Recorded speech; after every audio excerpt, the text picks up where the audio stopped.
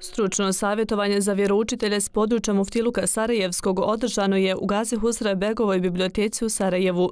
Tema savjetovanja bila je Perspektive islamske vjeronauke u Evropskoj uniji, iskustvo u javnom obrazovnom sistemu u Republici Austriji.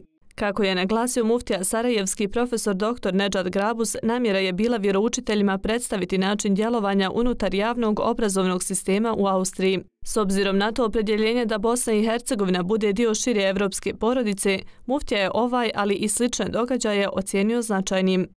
Austrija je dakako važna zemlja Evropske unije. Islam je u Austriji priznat na osnovu iskustva koje je austrijsko društvo prije više od 100 godina imalo s Bosnom i Hercegovinom, s obzirom na naše težnje i naše opredeljenje da pripadamo ovom evropskom prostoru i naravno želimo biti dio šire, to šire evropske porodice i unutar nekada Evropske unije, ako Bog da, želja nam je da pokažemo kako i na koji način se realizira vjeronauka, koje ciljeve ima, kakve su, kakvi su rezultati u procesu usvajanja islamskih vrijednosti, praktičnog života i suživota na temelju onoga što naši vjeroučitelji ponude djeci u obrazovnom sistemu u Austriji. Predavač na navedenom edukativnom savjetovanju je bila Amina Karla Bahđati, glavna inspektorica za islamsku vjeronauku u Republici Austriji.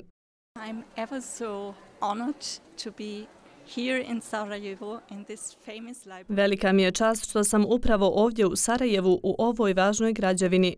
Govorila sam o islamskoj vjerskoj edukaciji.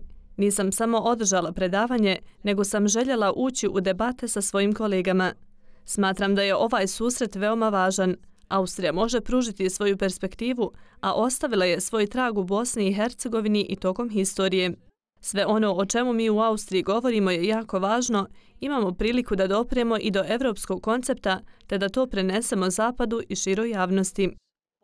Učesnici savjetovanja iskazali su zadovoljstvo naglasivši da su stekli nove uvide i znanja.